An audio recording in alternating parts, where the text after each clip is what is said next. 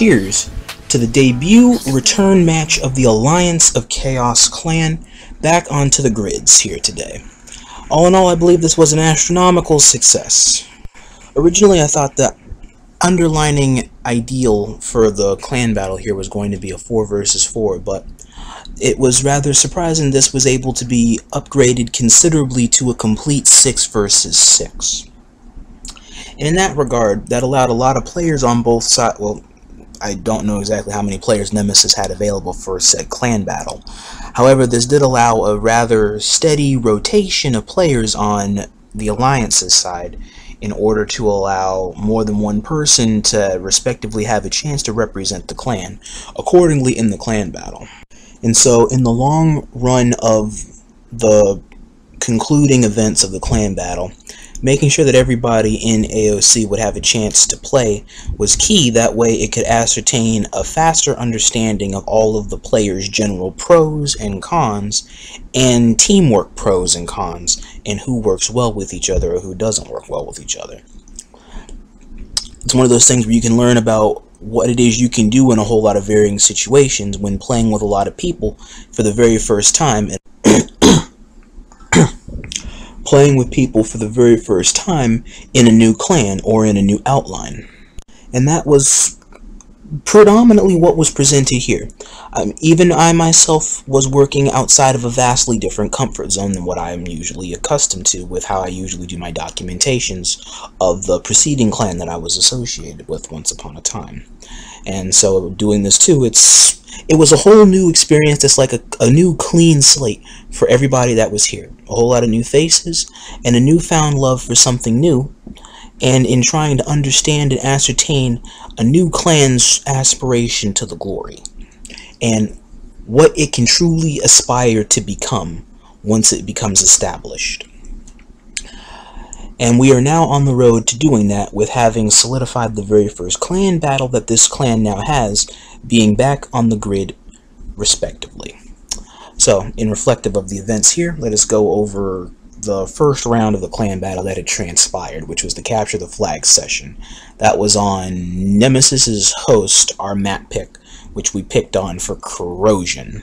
At first I was very concerned when the match had opened up because opening up on this map on their host in a 6 versus 6 or anything past a 4 versus 4 would be a highly excessive gambit because of the potential outline of lag that would happen with more people with differing nat types that come into a match.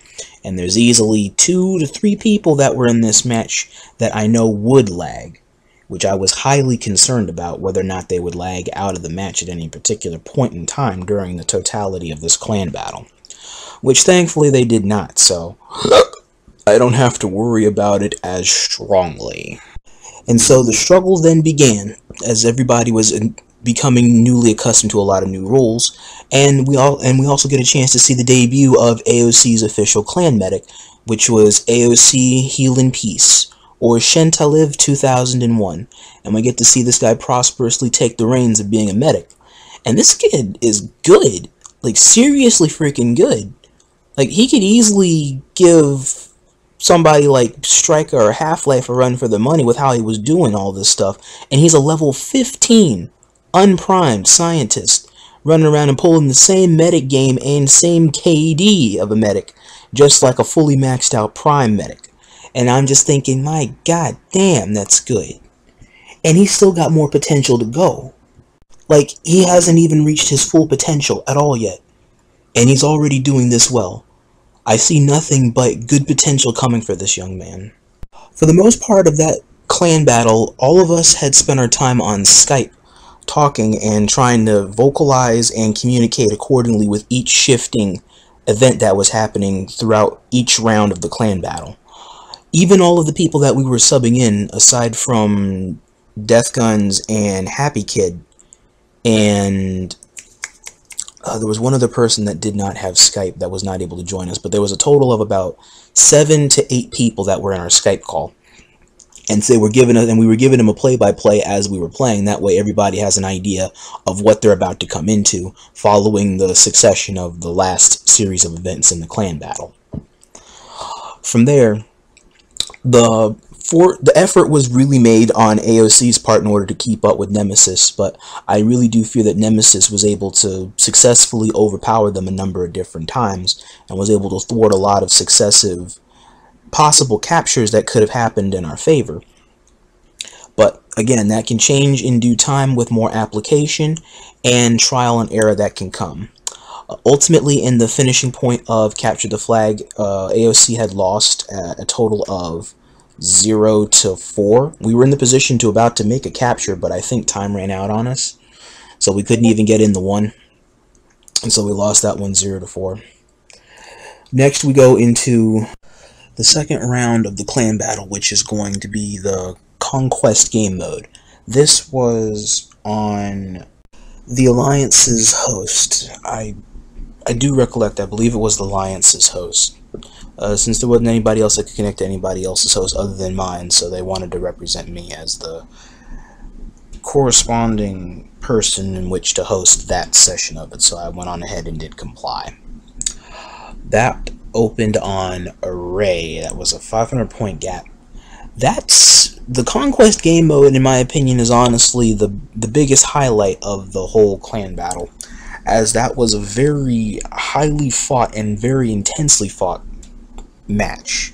And it went back and forth and back and forth. Right out the gate actually the alliance had the opening had the opening lead against nemesis until nemesis was able to challenge it.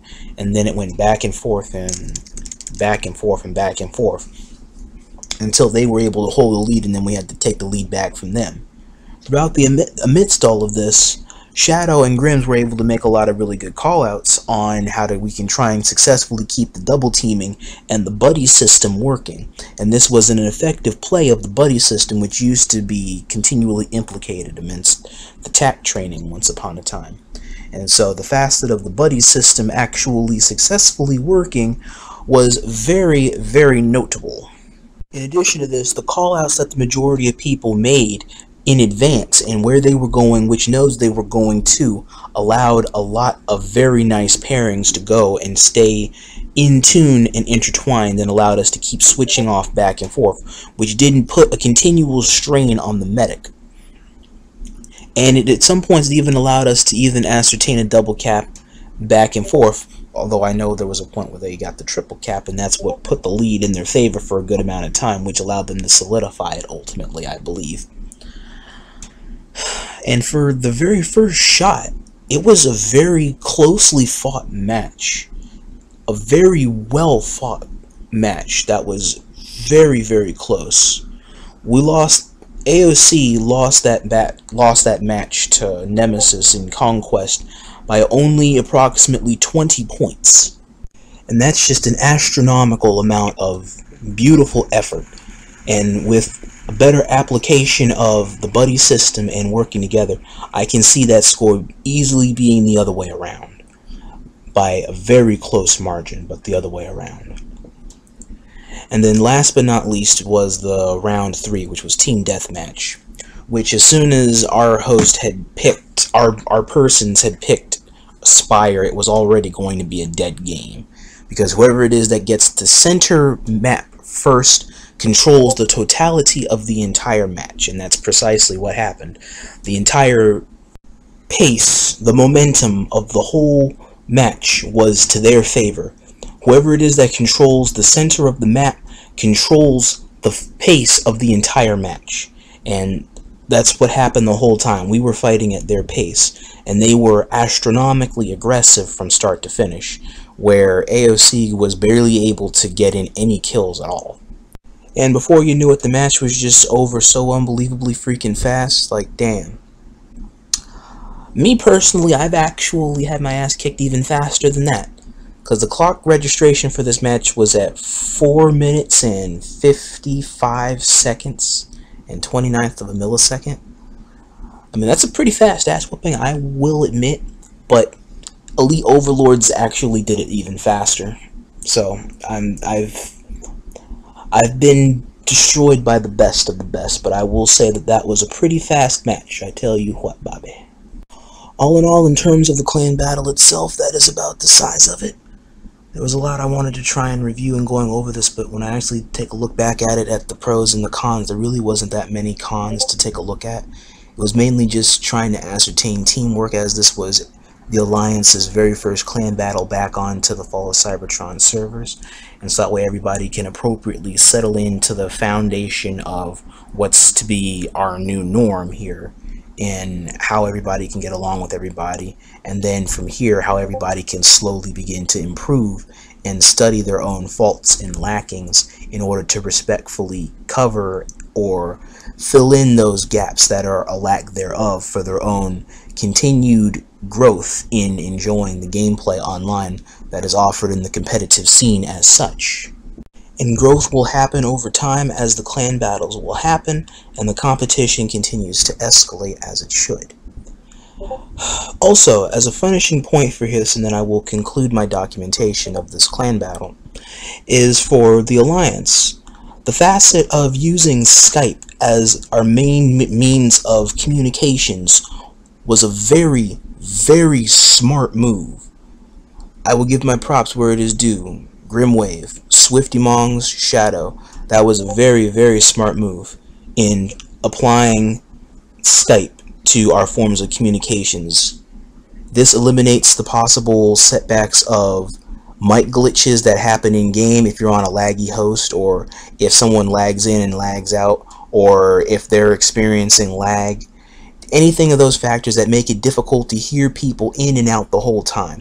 Skype eliminates all of those communication setbacks as a whole because everybody that you're talking to is here in the call and everybody who's to come in is also here potentially in the call. And you can make call outs as you will in advance. It, it leads to a vast amount of good coordination. And I like the fact of you guys using that to your advantage. And in a sense using what it is that Darkmount Gaming had done beforehand which was a clan before our time now that utilized the same form of general overhead communications during clan battles or during the clan wars.